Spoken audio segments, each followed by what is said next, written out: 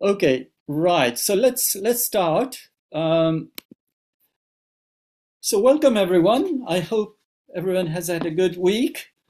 Um, so this is the third talk of the course, and uh, today we'll be talking about four noble truths. Now, after Buddha's enlightenment, he began a teaching career that spanned 45 years till he passed away at the age of 80. His first disciples were the five ascetics who had originally actually abandoned him when Buddha renounced the path of self mortification. And the first teachings he gave them was that of the middle way, followed by the Four Noble Truths. These teachings were to become known as the first turning of the wheel of Dharma. Dharma could be taken as uh, Buddhism, basically. Uh, uh, I mean, in, in uh, Sanskrit, it means uh, natural law or, or religion. Uh, it's got several meanings. It is rather appropriate that the first teachings that the Buddha gave to the ascetics was that of the middle way. As Buddha had discovered, it is not profitable to cling to extremes. So I'll just read out what Piyadassi writes in The Buddha's Ancient Path.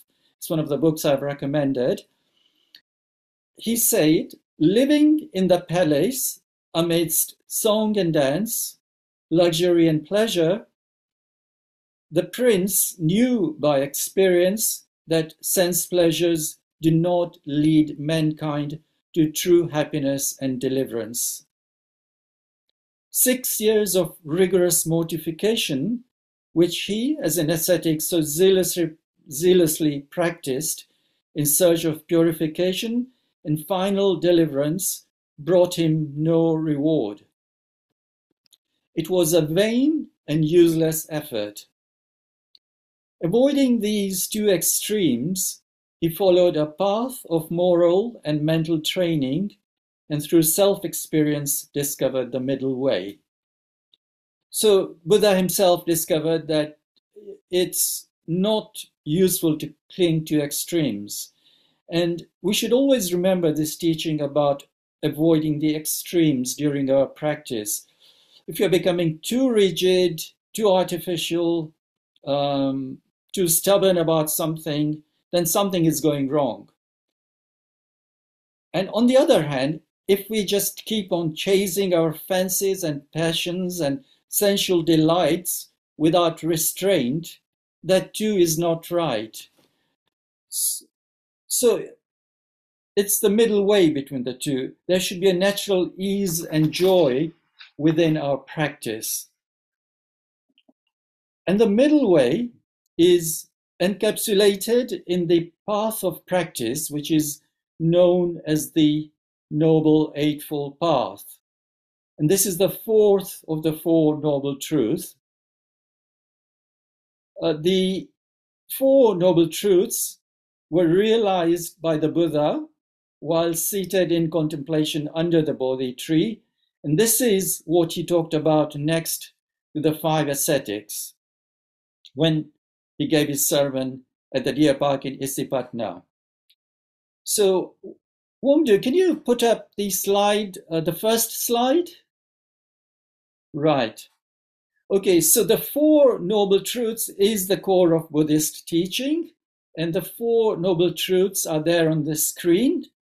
So the first Noble Truth is that of suffering, and the, the Sanskrit word for suffering is dukkha, and we'll look at that word in much more detail next week. I'll, I'll talk about it today as well, but uh, we'll uh, so we'll, we'll we'll get an idea of what that word means. It's usually translated as suffering, but the word suffering isn't quite adequate as a as a translation.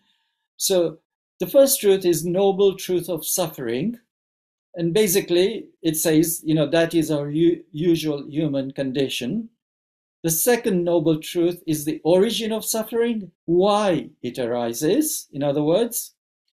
The third noble truth is the extinction of suffering. So, this noble truth basically says that it is possible to be liberated from the suffering. And the fourth noble truth is the path that leads to the extinction of suffering.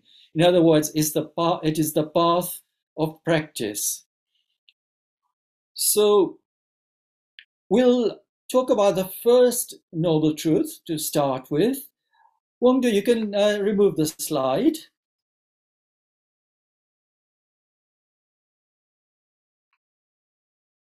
So the first noble truth basically says that suffering is part and parcel of our human condition.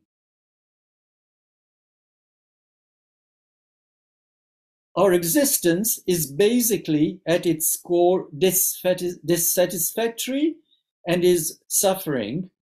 And it is describing how we feel quite often. We feel anguish, we feel sense of not being complete, um, we feel misery, sorrow, fear, unhappiness, worry, anxiety, frustration, and numerous un, un, unpleasant states. And dukkha encompasses all these feelings. It can be, it can range from major life events, uh, like losing someone we love, death, being made redundant, to minor things like you know just feeling some sort of irritation or just a just a general feeling of disease dis ease not feeling at ease where just things just don't seem to be right for us. Um, uh, so it could be just that sort of feeling. Uh, and so i'll just give some examples um, so you know where when we are at a supermarket and we are queuing up to pay, and there is someone in front of us who's determined to get rid of all their change, all their pennies, and is, uh, you know, slowly count, counting them out, and we might be in a rush, and you know, we are saying to ourselves, "Wish would hurry up," and getting irritated. That is dukkha. Another example, you know, we might go on a holiday to a sandy tropical beach. We get up in the morning and we look out of the window, you know, and all is glorious, you know, beautiful blue skies, blue sea, uh, white sands. And we go out and to have our breakfast and laid out in front of us on the beach is the whole breakfast. And we could have anything. And you know we we pick the things we like and we're asked what drink we would like and we ask for tea. And because in the country that we are um, traveling in they probably don't drink tea. And they bring tea which seems weak and insipid to us and we are used to having strong black English breakfast tea. And so, just in, in the midst of everything seeming glorious, there is this little feeling of something we do not like. That is dukkha. Or we want to be in a relationship. Whatever we do, nothing seems to work out. That is dukkha. We may have called a call center, been put on hold for 20 minutes, and then someone answers the phone, and we explain in minute detail exactly what our problem is. And the person at the other end just does not seem to understand and just keeps on giving us pat answers. And eventually we lose our cool and start shouting down the phone line. That is dukkha.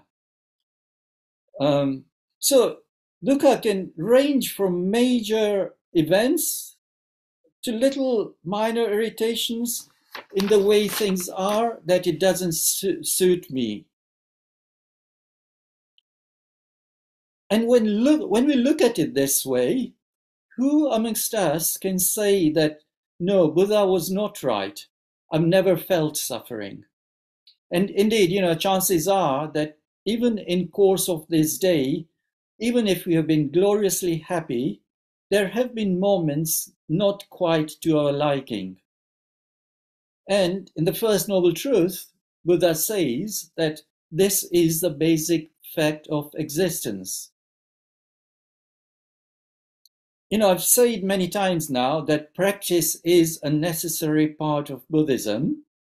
And one practices, one brings to consciousness the suffering which we might otherwise cover over or, or not notice. And just because we've covered over it or not noticed it does not mean that it will go away. And even in unconsciousness, it can simmer away and build. So we need to bring dukkha that is there into consciousness so that we can acknowledge it and then work with it. And this is the first step in transforming dukkha. So, for example, you know, when um, someone has left milk on the counter and not put it back in the fridge, after us having told them many, many times not to do that, to always put the milk back in the fridge, and we notice it's out on the counter again, and we feel anger, we just notice that anger, label it, perhaps, if you want, and say there is anger. When you come to the third noble truth, we will see that it says that there is cessation of suffering. But for cessation to occur, we first have to be aware of suffering in all its manifestations, big and small, and acknowledge that it is there. I'll give um, one story which one of the teachers who teaches Buddhism at the society uh, once gave from her early days in the practice of Buddhism she was thinking to herself, surely I'm a very reasonable, even minded person. I do not get irritated, annoyed, impatient. So she decided to do an experiment. She took a handful of paper clips and put them in her right pocket. And whenever she noticed a reaction of no, not now, or hurry up. Any of those reactions come up, she would transfer a paper clip from her right pocket to her left pocket. And she found by the end of the day that she had run out of paper clips in her right pocket. That is the nature of suffering. And that is what the first noble truth is saying.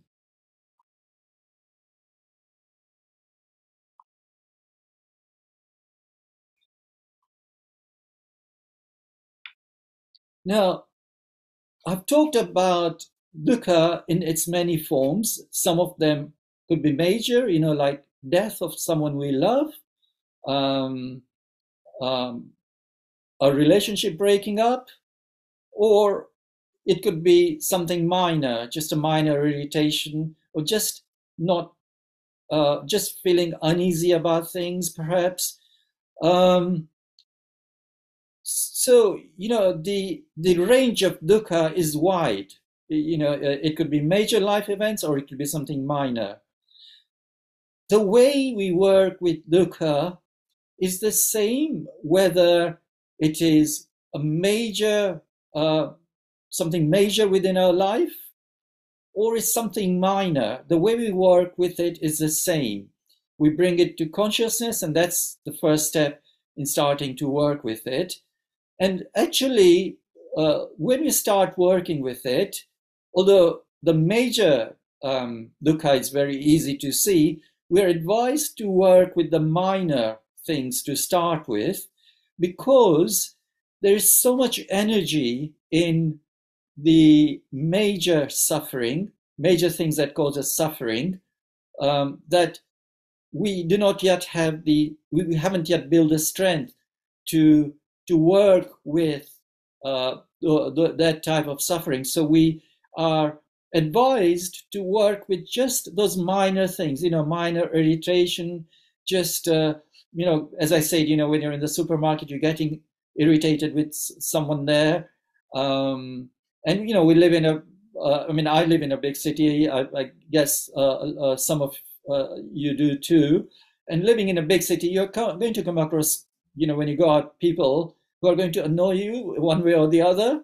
Uh, so just notice that. And that's working with the minor irritations. So that's what we start with because the major irritations have too much energy for us to be able to contain it uh, um, and to work with it.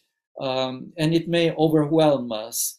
Um, so that's by working with um, the minor irritations, we are building up strength, we are building a familiarity with this uh, energy, and then it just naturally helps us deal with uh, you know bigger and bigger events in our life. So I'll just read out um, Buddha's words. Buddha said, What then, monks, is the noble truth of suffering? Birth is suffering, decay is suffering, sickness is suffering, death is suffering. To be in situations one does not like is suffering. The separation from what one likes is suffering. Not to get what one wants is suffering.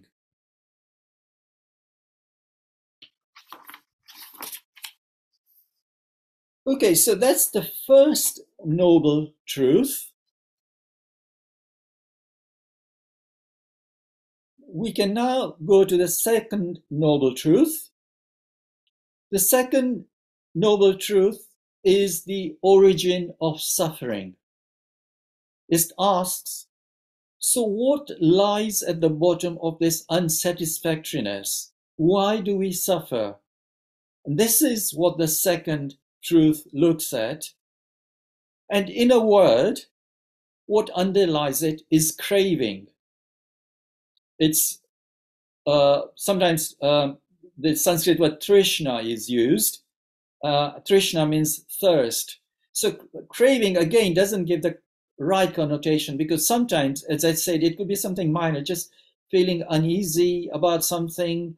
Um, so uh, uh craving usually craving means you know we're really hankering after something but it may not be as as, as much as that it could be just something minor. So uh, although it quite often this is translated as craving trishna is often translated also as thirst. So perhaps thirst thirst for something uh, that that gives uh, perhaps a better indication um, of what, what we're looking at. So what lies underneath our suffering is our underlying craving for what is pleasant and to avoiding what is unpleasant. That is what lies at the bottom of it. And if we recall last week's uh, talk, and if we recall the three fires, that's what the three fires deal with. It, the three fires are craving, um, then the second fire is that of anger or ill will. And the third fire is that of flawed seeing, avidya, or sometimes it's translated as ignorance. Ignorance meaning not really knowing the way things really are. So, so actually, what lie, uh, uh, what lies under our suffering, what causes the suffering, are those three fires. And so um, uh, craving, uh, it, it, said here, craving is uh, what, what leads to the suffering. But actually, you know, under underlying all that is avidya, ignorance of the way re- things really are. We do not see the reality as it really is. And that, that saying is actually very profound. Um, it, it takes time to to see it, um, but at least you know while we are starting off with Buddhism, it, it is still possible to work with craving. Uh, uh, uh, and, and, you know, I, I'll, I will um, talk about how we work with it. So, if, uh, in the words of the first discourse that Buddha gave, what then, monks, is the noble truth of the origin of suffering? It is craving or trishna that gives rise to rebirth, together with the pleasure and greed that seeks delight here and there. The craving or thirst for sensual pleasure, the craving or thirst for further existence, the craving or thirst for non existence.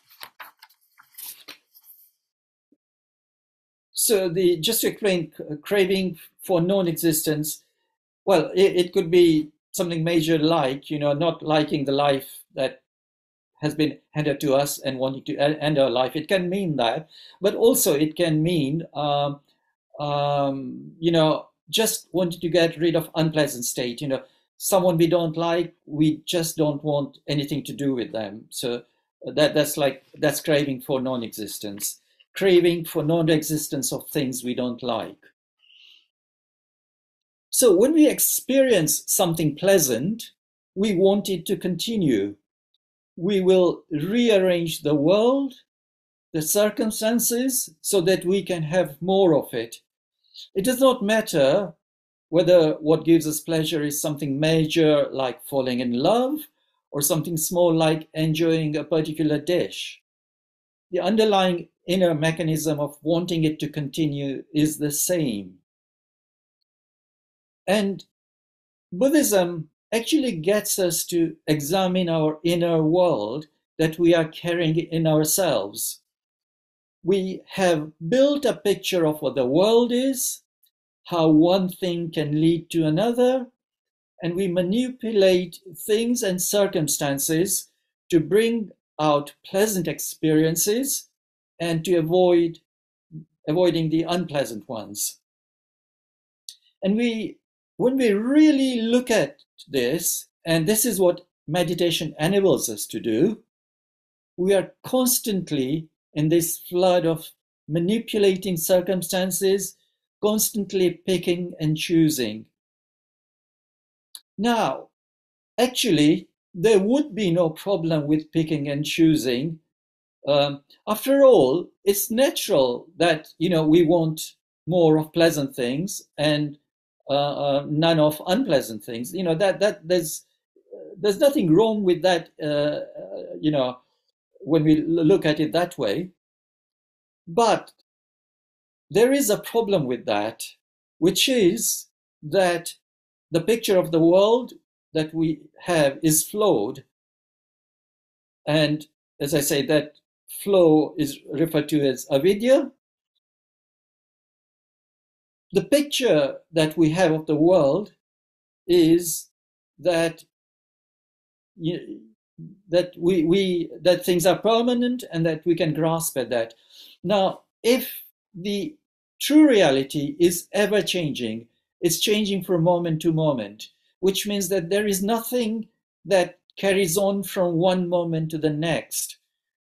So, in that ever changing moment, and uh, so what happens is, um, if I can just explain this a little bit more. So, um, Buddhism, Buddhism says that every moment is a new moment, uh, and every moment is um, influenced by all the circumstances surrounding it. And because the circumstances surrounding it are changing, every moment is different. Whereas our senses actually pick up what that moment uh, it's saying, uh, like seeing something, for example, and uh, then our senses grasp that, uh, our perceptions grasp that, and our brains then start manipulating uh, what, what we have seen. But meanwhile, while all that is happening, that moment has moved on and the new moment has arrived, and we are no longer in the moment. we're no longer in the true reality. What we are in is grasping of what we have seen and then manipulating it with our mental images um, uh, of, you know, and then we put uh, um, uh, uh things on it like, I like this, I don't like this, I'd like to have more of it. And so we build up pictures, and then that's what we are living out of. Whereas the true reality is, is uh, moving moment by moment, it's changing moment by moment. If we stay with that without the distortion that we normally see, then it is possible to uh, actually see reality as it is. And then it is possible to actually enjoy things that are coming to be and ceasing to be within our domain because we, we you know, they come to us uh, for, uh, you know, momentarily, then, then the next moment changes. And, you know, if it, uh, perhaps it's, it's something that the next moment pro probably produces the same thing. Um, so, uh, and so our minds, you know, when, when um, the same things uh, are uh, uh, being produced from moment to moment, take it as if there is something real there. It's a bit like, you know, um, if, you, if you think about the old style of uh, how films were shown in a cinema, there would be a series of pictures on, on the film reel, and each picture would be slightly different uh, uh, uh, to the next one. So, uh, so if someone's walking, you know, the, the, um, there'll be a series of pictures where um, the, the pictures are evolving slightly differently. And, you know, once they are uh, projected onto the screen, um, all those pictures are coming rapidly one by one. And what we see on the screen is real people walking. We see real stories. We see people falling in love, people falling out of love.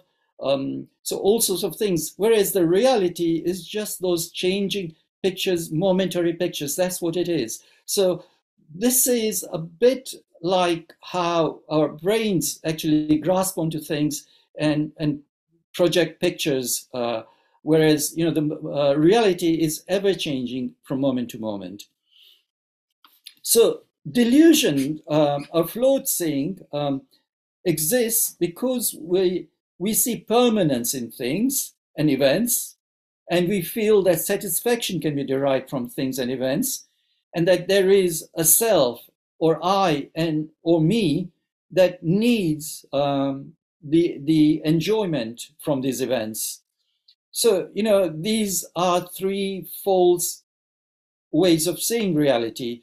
As we say, the true marks of reality are uh, and that was the last week, are impermanence, suffering, and no self-identity. We see it exactly the opposite. We see, we see things as being permanent, capable of giving us pleasure, and um, having things having self-identity, including ourselves. So, because we base our seeing on wrong assumptions that, that there is permanence, there, there is self-identity to things, that thing, we can grasp at things, whereas, you know, things are ever changing. Trying to grasp them is like trying to grasp a fistful of water. We'll never succeed.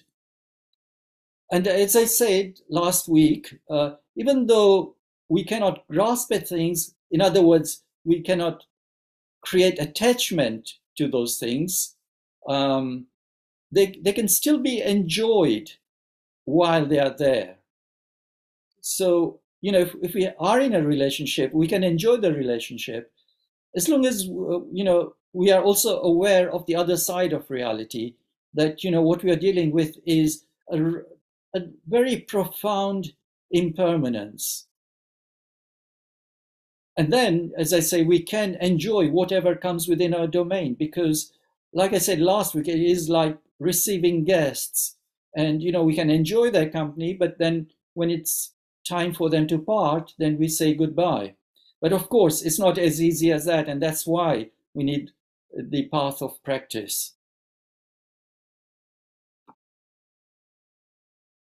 So in this lesson, we will not actually go into how our flawed seeing actually arises, um, but Buddhism does explain in minute detail how a deluded seeing arises.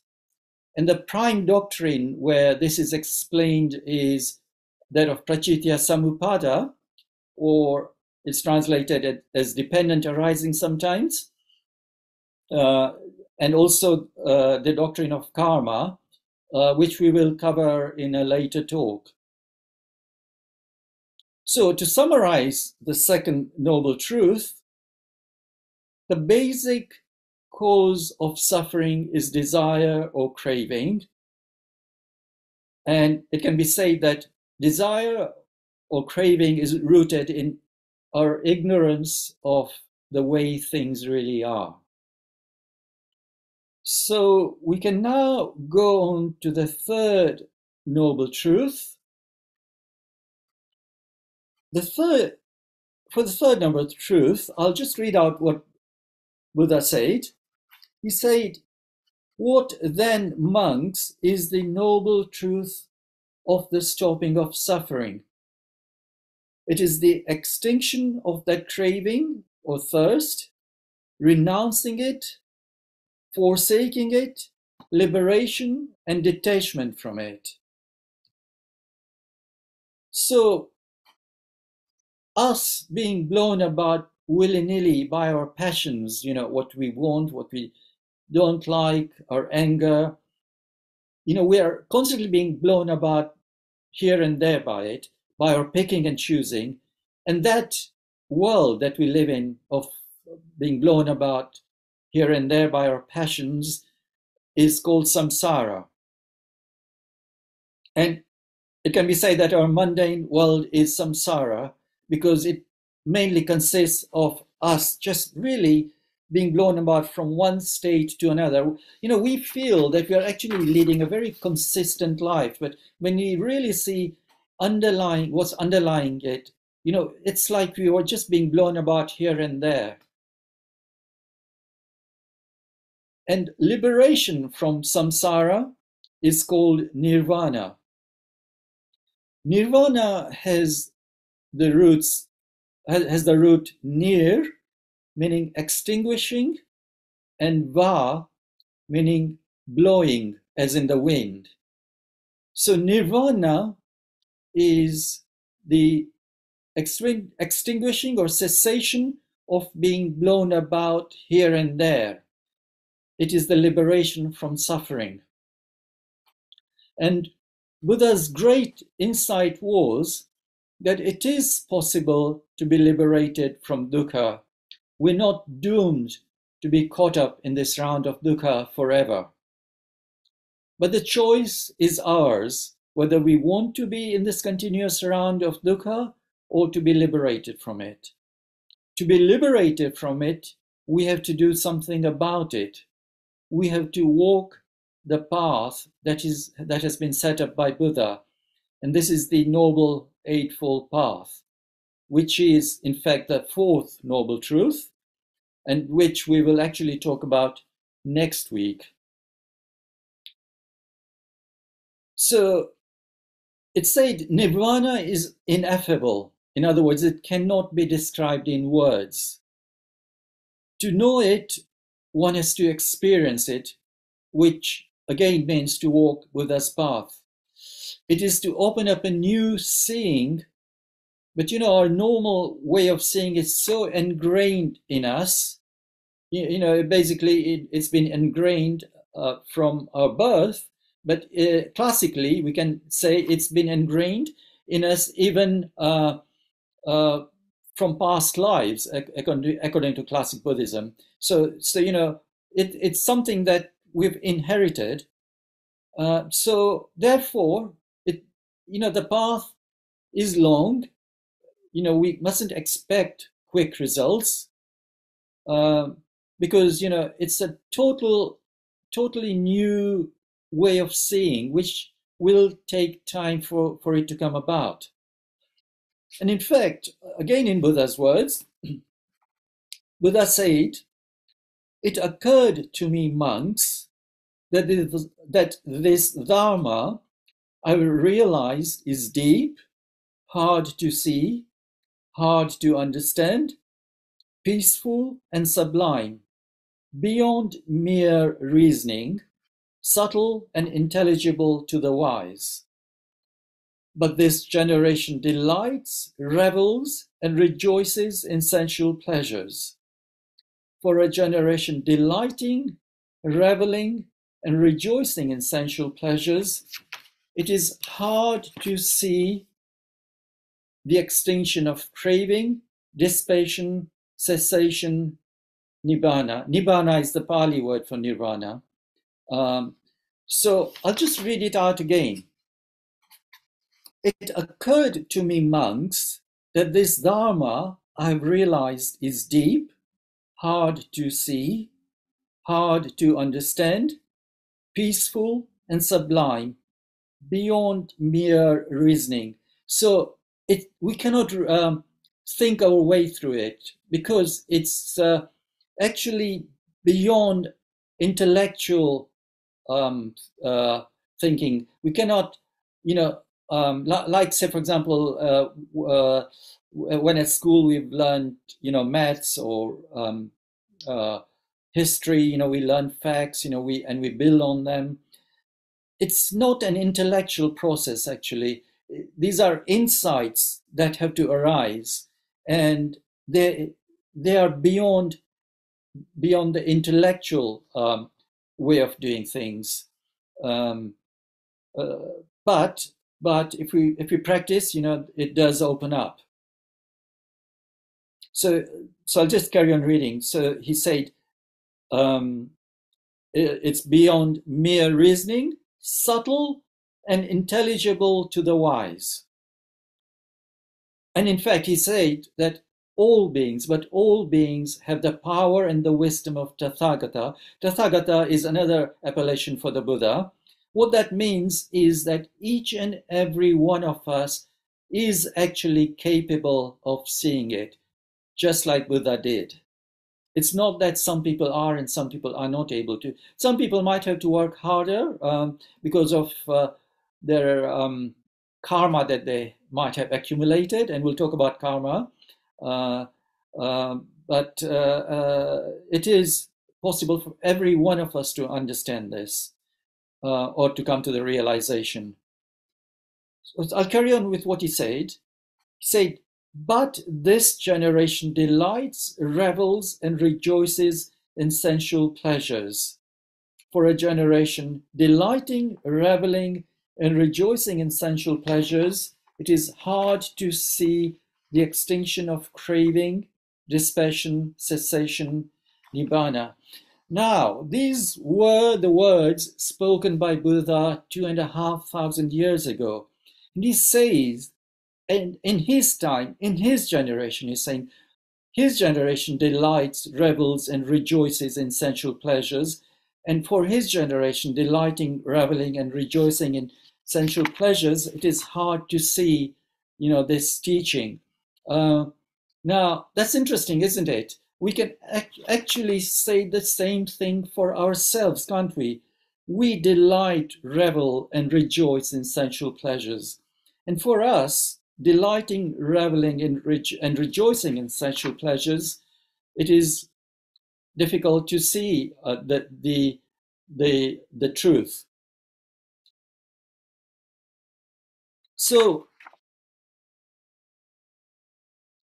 so you know um, we you know two and a half thousand years after buddha we have got all sorts of comforts which did not exist in buddha's time you know we can speak pick, up the phone and speak to our aunt in australia if, if we want um, we a lot of things that people died of uh, at that time you know are just minor illnesses now um, so, you know, we've got, we've made so much progress. There's been so much material progress, yet our human condition is still the same.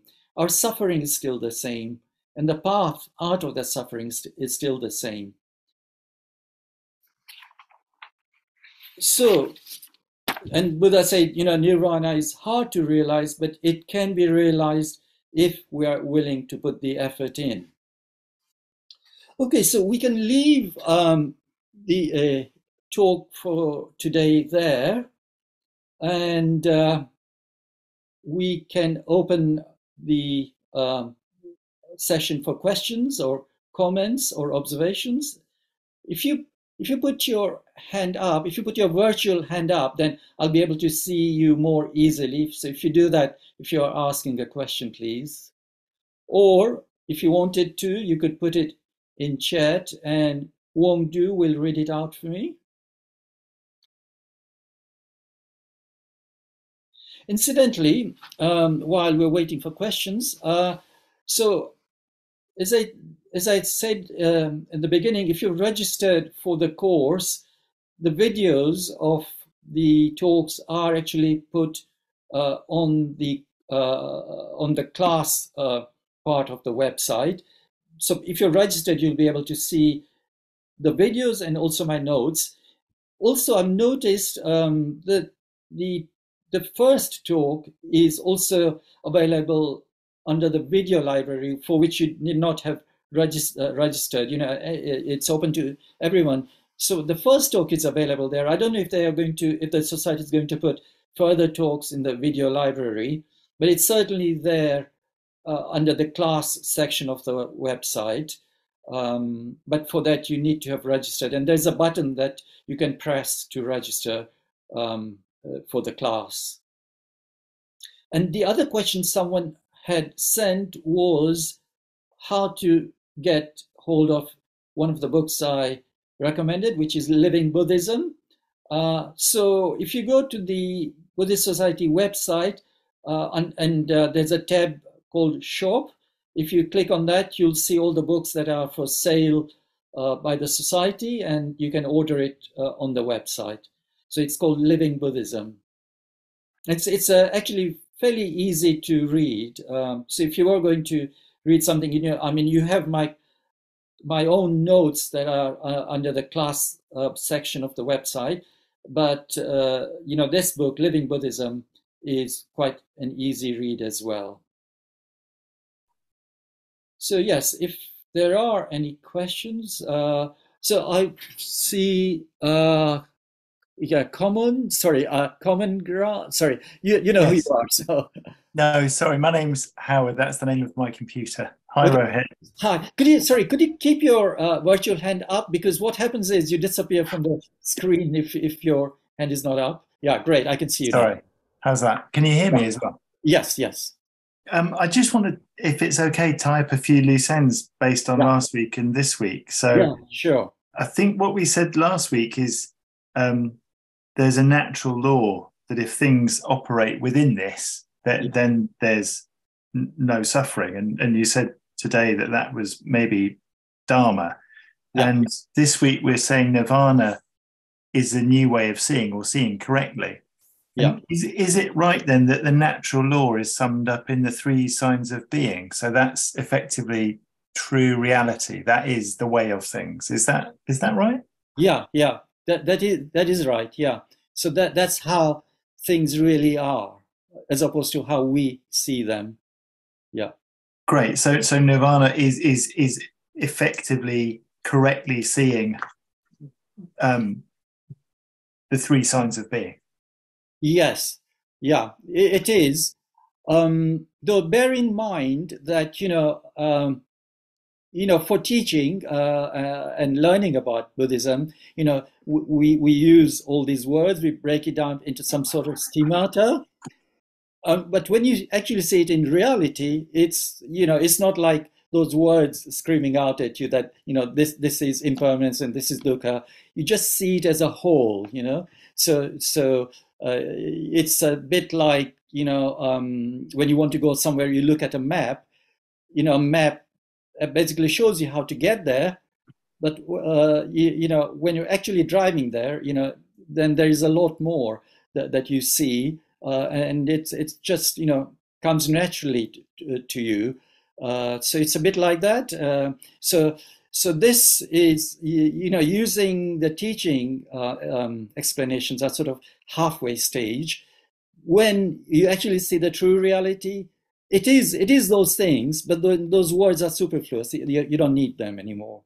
Yeah. Yes, it, it's it's just striking that as opposed to other other faiths, there's there's less of a sense of salvation and redemption, more of a sense of clarity and understanding, and through that perhaps incidentally there may be this sense of but it's it's yeah. clarity yeah yeah it is it is clarity um, and, and and in fact uh, uh, that that is a very important part of it because because of clarity we see things correctly. When we hanker after things we know that uh, why perhaps that's not skillful. So you know clarity helps with all that.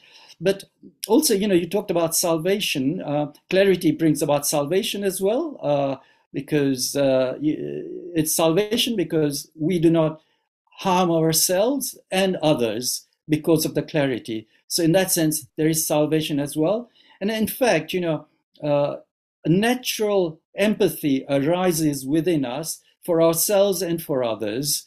Uh, you know, which is part of salvation as well. Uh, and the natural empathy arises because we see that we are all in the same boat. Whereas, you know, our normal saying is, you know, uh, being separate from everyone. Whereas um, our seeing turns around and we see we are in the same boat, and then empathy arises, and our concern for I, me, and mine is also reduced, and therefore also empathy uh, arises. And so, so therefore, there's a sense of salvation for ourselves and for others as well, which is a natural um, thing that comes about. Right. Great. Okay. Okay. Right. So you can put your hand down. Yeah. Are there any other questions? Right. Okay. Good. Okay. I'm just wondering if, since we've got a little bit of time, uh, yeah, I'll talk about. Oh, sorry, Rohit. Uh, I was muted. I was trying. Oh, I got one question here. Uh, right. Came through the chat. Uh, I read it to you. Yeah. What is the difference between dukkha and samsara? Okay, dukkha and samsara. Um, well, uh, you, you can actually uh, so dukkha is part of samsara. So being in samsara is is dukkha. So in a way, you can take take them as synonyms. Um, so so a mundane world is what samsara is, and and our mundane world is uh, is the world of suffering. So in a way, you know, they're they're similar. Um, the world of suffering, the world of dukkha, is samsara. I hope that answers that. Uh, Nivedita, uh, if uh, you got your hand up, if you got a question, uh, would it be possible for you to put your video on so I can see you when you ask the question? Okay. I was actually cooking for my son, so oh. yeah. Okay. Um, um, my question is if everything is suffering, so every little thing, whether we are preparing for job, studies, or in our daily lives, um, and buddha took this path of nirvana yeah. So does it mean that buddhist practice says that we stop everything or uh, focus our mind in meditation or that's how we eliminate suffering from our life? How to control that suffering? Because it is at every step. Yeah. Yeah you're right. You know uh, as i also explained you know even though we are happy uh, there would be you know many many moments not to your liking you know in a course of a day uh, uh, so there's there's always you know undercurrents uh, of things that are not quite that not uh, suit us so uh, that, that, that's always there um, so the answer to your question is actually the way out is you know what the last questioner actually pointed out, it's clarity. You know, clarity arises with the practice. Clarity arises as to why that suffering is arising. So uh, you know this dissatisfactoriness that's perhaps you know linked with everything that we're doing. Um, we first of all, you know, as I said, we notice it. You know, some in our everyday uh, lives, sometimes we're not even noticing it. Um, it's just uh, there are some undercurrents, you know, and it, we're just not feeling at ease, but we don't notice it uh, exactly. So the, the first part is we notice it. And then after noticing it, uh, and I'll, I'll be talking about this in uh, future lessons as well, once we notice it, uh, we brought it into awareness, and that there's an energy within that. And then what we do is uh, usually what happens with that energy, especially if it's uh, something that is causing a lot of suffering or a lot of craving, is that energy uh, is quite powerful. It, it wants to run away. Mm-hmm. And, uh, and it, it, it, wants to be acted on.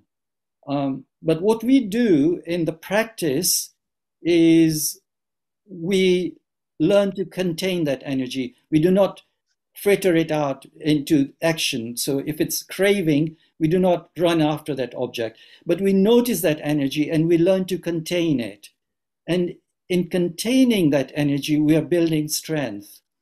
And, and, um, and then we start seeing eventually why this energy is arising, you know, how our seeing might be flawed.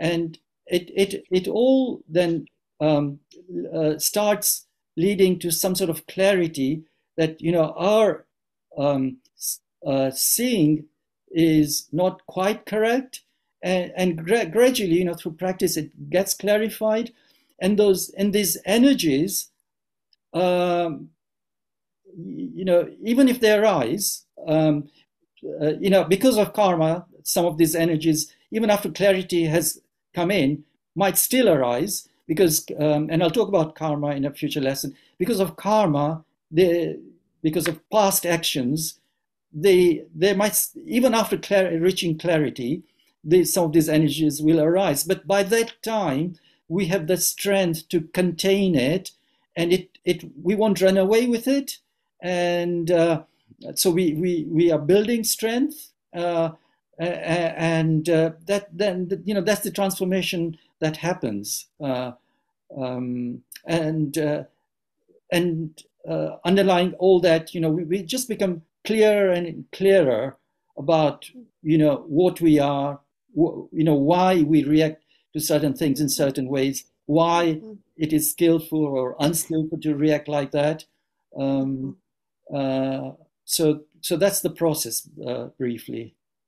Does oh, thank you so much. Yeah, thank you so much. So basically, noticing it and uh, just realizing what is going on and gather that self awareness, yeah. it builds up the strength of that calmness.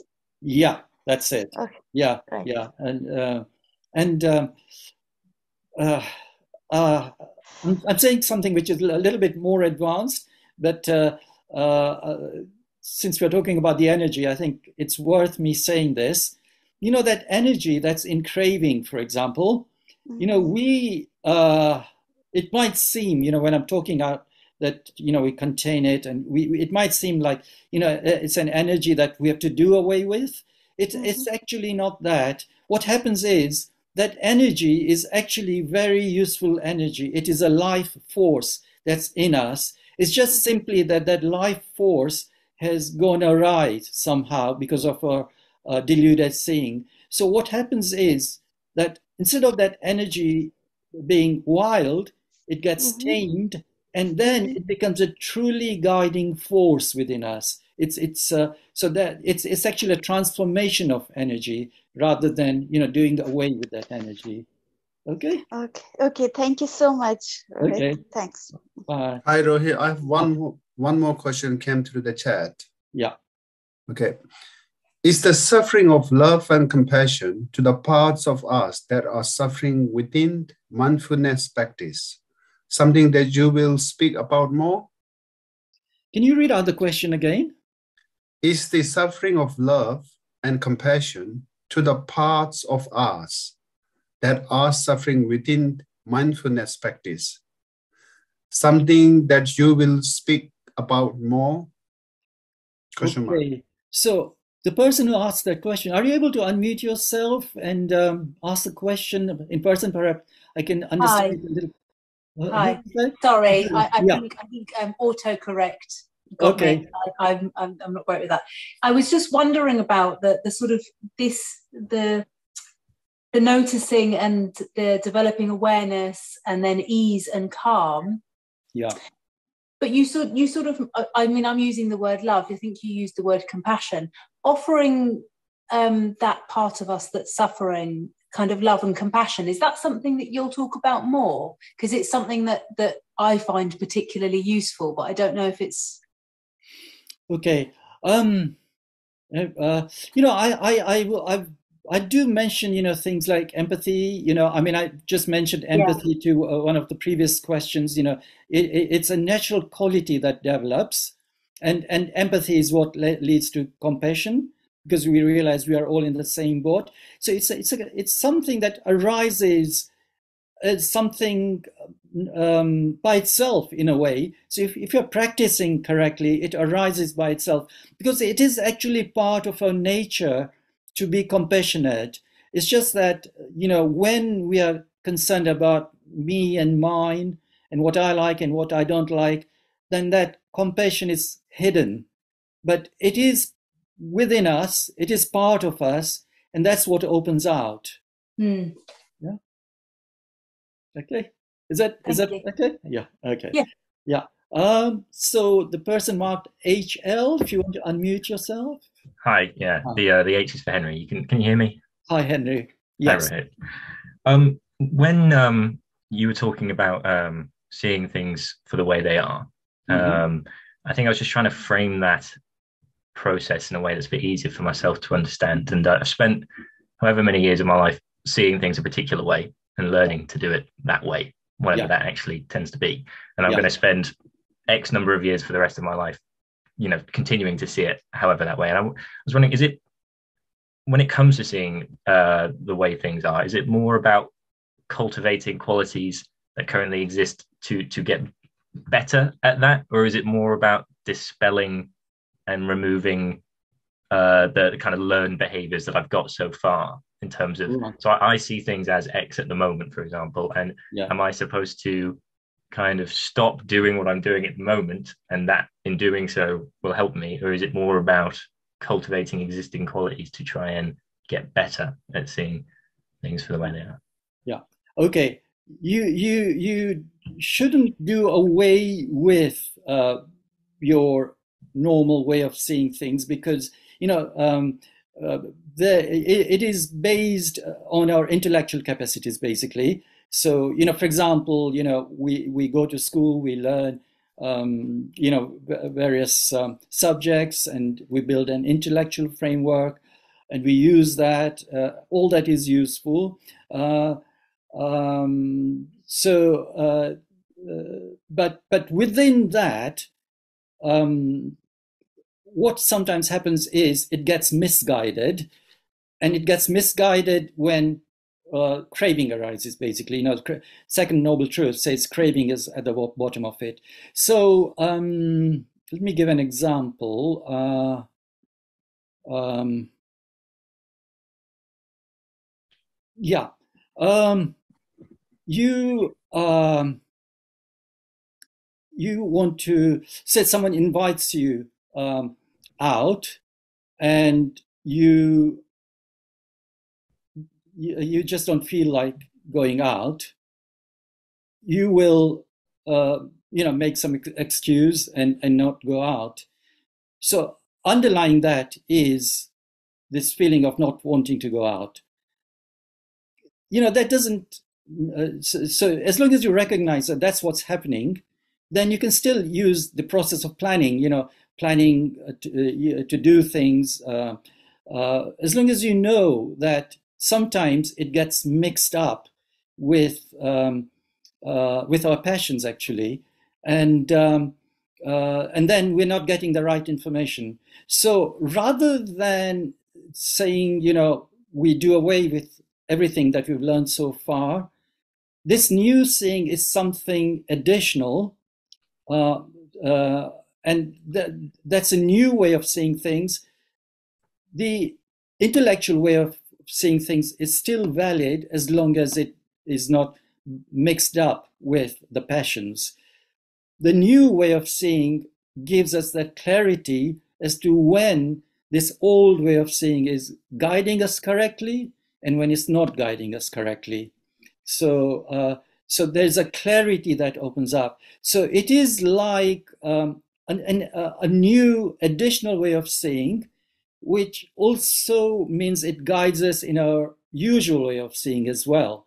So we shouldn't actually do away with it because, um, you know, um, our usual way of seeing ha- has many positive things. You know, for example, you know, the um, progress that we made in science, in medicine, you know, would not have happened without, you know, all the intellectual seeing, you know, uh, saying that is actually not necessarily based on true reality. You know, it's based in science, um, uh, which actually is actually manipulation of the pictures. Um, you know, um, like you know, um, uh, if uh, if if you know, I talked about a table as exist, existing last time. In science, it actually does exist. You know, um, you know, the qualities of uh, of a matter that it describes certainly exist, um, but the true the, the other way of seeing, you know, from moment to moment seeing, shows us that there is something slightly askew with that. The true reality is slightly different. And then when we have got that tool of seeing true reality, we can actually use our normal way of seeing things, but not be fooled by um, by it. So, in other words, we see both sides of the picture um, uh, and uh, actually, there's a saying, saying in Zen, which I follow, uh, which, which, is form is emptiness and emptiness is form. So, uh, emptiness is the true reality. Form is what we see, how we see things normally. So, it says that form is actually, its nature is empty. But, you know, if it was just emptiness that we were seeing, it'd be useless within that emptiness, we do have to see the form as well. So it's not like we do away with uh, our usual way of seeing. It's just that the, this new way of seeing adds clarity. And with that clarity, we know when we are using the old way of seeing things correctly or whether it's misguiding us. And it really, really does misguide us when it gets mixed up with passions, you know, what, what I like, what I don't like, um, you know, when it comes to all that, you know, feeling angry with someone, then it really does does actually misguide us. Yeah, Is it sounds cool? almost like if I if I had blurry vision, I wouldn't try and cover my eyes. I'd try and find the right pair of glasses. Exactly, exactly, exactly, exactly. Okay. Okay. Yeah. No, thank you. No, thank you for your response. Okay. Um, Anna Maria. Yeah, yeah. I want to put, I don't know, I want to give you an example to see if I'm getting this right. Um, so I do coaching and I do leadership coaching, and some of my clients are really determined and really, um, they they thrive, you know, and they kind of get really hooked into success. Mm. Um, so there is nothing wrong with being with determination or with success but it's the way they relate to that and the intention they have behind so yeah. in many cases the sense of worthiness come from the knowledge of those successes and, and that ambition yeah. so i think what i'm getting uh, what you're saying is is is more what is behind of the behavior yeah. than the behavior itself and it's how do we relate to those things yeah. more than what we do. So in their cases their sense of worthiness or self-esteem or self-love come from a place of wanting acknowledgement yeah. and being appreciated. And then there's kind of that veil in front of them about why what's the reason behind doing something. Yeah that's that's uh, yeah, Anna Maria. Thank you very much for that. That is a very good example. In in fact, I think that also answers Henry's question a little bit as well, because uh, you know there's nothing wrong with success, and you know if our normal um, way of doing things means that we want to succeed at something, there's actually nothing wrong with that. What is wrong with it is this veil that is put over success. Uh, you know, uh, we're hankering for success for some sort of status or some sort of recognition, uh, and and then it can go askew. Uh, so that's a very good example. Uh, uh, thank you very much for that. Okay, is is there any anyone else? is there Wongdu? Is there anything in chat at all? No, that's it. Okay. Good. Okay. In that case, um, we can end today's class and we'll meet next week when I'll talk about the fourth of the Four Noble Truths, which is the path of practice. So I hope you all have a good week and see you next week. Goodbye.